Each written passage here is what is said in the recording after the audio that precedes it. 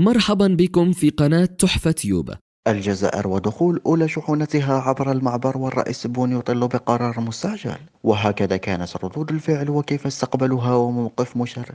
وهكذا كانت ردود الفعل وموقف مشرف للجيش الوطني. واتصال عاجل لأول مرة من مجموعة بريكس بالرئيس تبون. فكيف كان رده الصاعق عليهم وردة فعل بوتين والرئيس الصيني؟ بداية الجزائر مع إرسالها لطائرات ضخمة محملة بالمساعدات الإنسانية واستمرار الجسر الجوي في نقل كل المساعدات وما يحتاجونها عبر طائرات اليوشين التابعة للجيش الوطني الشعبي العملاقة وحسب صحف مصرية وعربية فقد دخلت أولى شحونات الجزائر عبر معبر رفح. تضغط الجزائر للسماح لكل المساعدات بالدخول دون قيود لأن عدد الشاحنات التي تدخل قليل جدا. والجزائر مع تفريغ الطائرات المرسلة تم شحن المساعدات في عدد كبير من الشاحنات ويريدون إدخالها جميعا حتى تكون الشاحنات فرغت حمولتها عند وصول الطائرات الأخرى التي أمر الرئيس عبد المجيد تبون بإرسالها وقد كشف محللون أن الجزائر مع تكدس شاحنتها أمام المعبر وإدخال واحدة فقط. غاضبة وسارعت للضغط أكثر وكسب المزيد من الحشد العالمي. لضرورة فتح المعبر وتراسل حلفائها لأخذ موقف وتخبرهم أن شاحنتها متكدسة أمام المعبر. إذ وضعتهم الآن أمام الأمر الواقع وتضيف ذات المصادر أنها خطة مميزة لإنجاح الضغوطات بشأن الممرات الإنسانية في المعبر دون توقف مع طبعا جهود إيقاف الأحداث التي تقوم بها الدبلوماسية الجزائرية. وقالت صحف مصرية أن الجزائر تعد من بين أكثر الدول التي أرسلت مساعدات ضخمة خاصة طائرات اليوشين العملاقة التي خصصها الرئيس تبون لنقل الشحنات. مجموعة بريكس تفاجئ الجزائر وتحرك قوي وحاسم من الصين وروسيا لضم الجزائر. وهذا هو الموعد والخبر الصيني يكشف من روسيا المفاجأة المدوية. لكن هكذا كان رد الرئيس تبون وخطوة مدوية. بداية أهم عضوين في البريكس يحضران أكبر مفاجأة للجزائر لدخول مشرف وحتى لرد الاعتبار وتدارك كل من الصين وروسيا لخطئهما السابق عندما لم يضغطا بالقدر الكافي على باقي الأعضاء لدخول الجزائر. هذه المرة الصين ترمي بكل ثقلها والتعجيل باجتماع ثاني مخصص لإدخالها بسرعة. حيث كشف الخبير والأكاديمي الصيني جونغ غونغ نائب رئيس الشؤون الاستراتيجية في جامعة الأعمال والاقتصاد في الصين لوكالة تاس الروسية في تصريحات مدوية بأن الصين مهتمة بانضمام الدول الصديقة ذات الاقتصادات الكبيرة إلى مجموعة بريكس وذكر على وجه الخصوص الجزائر وإندونيسيا اللتان مصممة الصين على إدخالهما في أقرب وقت وهو الأمر الذي روسيا أيدته فيها ومع التسريع في إدخال الجزائر وإندونيسيا.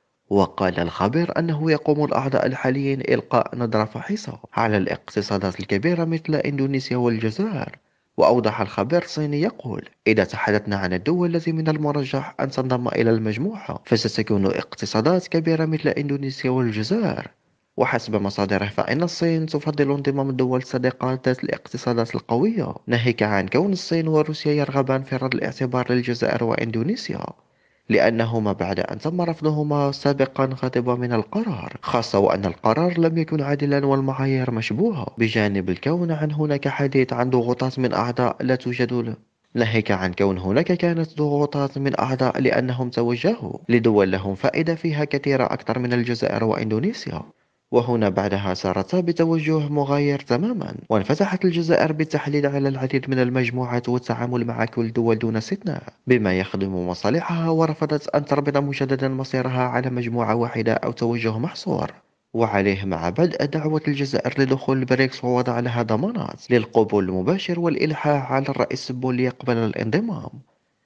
فأكيد أن هذا الأمر سيلطف جو العلاقات ويقويها أكثر. لكن الأكيد أن الجزائر وجدت فوائد ضخمة من توجهاتها الجديدة بعدما انفتحت على الجميع في التعامل سياسيا واقتصاديا. لهذا ستنضم للبريكس وتظل منفتحة على كل دول دون أي قيود لتعمل مع البريكس وغيرهم المهم أن تكون بمصالح مشتركة بما يخدم ويقوي الاقتصاد دون طبعا أي غدر أو إضرار بمصالح الحلفاء.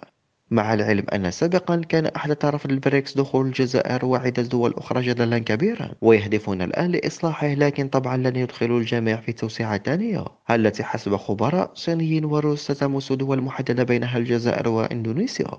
اللتان باتتا أولوية للبريكس ومستقبلا ينتظر دراسة انضمام دول أخرى أيضا.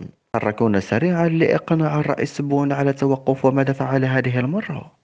بداية يبدو أن الجزائر مسرعة لكل أجندتها وتكثف من تحركاتها بشكل ملفت بالمجموعات القوية والمختلفة التي قررت الدخول إليها. فبعد المجموعة الأمنية مؤخرا والتي قرر الرئيس تبون الدخول إليها بالإضافة لمجموعات عديدة بديلة للبريكس يعتزم دخولها.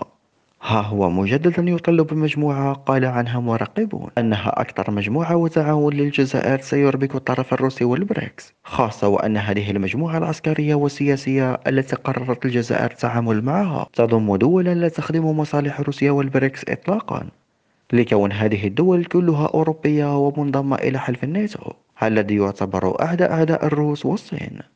فالجزائر هذه التوجهات لم تكن لتسرع إليها بهذا الانفتاح الكبير من مختلف المجموعات الاقتصادية والسياسية والأمنية والعسكرية. لو كان مثلا البريكس قبلوها من أول طلب. لهذا الجزائر أكبر رابحين بالانفتاح والبريكس وخاصة روسيا والصين أكبر الخاسرين.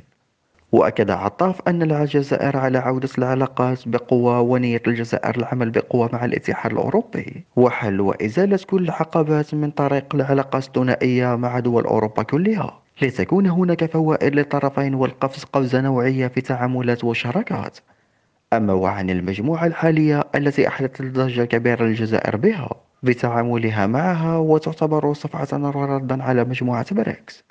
فهي مجموعة فيسيغراد المتكونة من التشيك والمجر وبولندا وسلوفاكيا والعمل معهم أربك البريكس وأخلط حسابات بوتين كليا.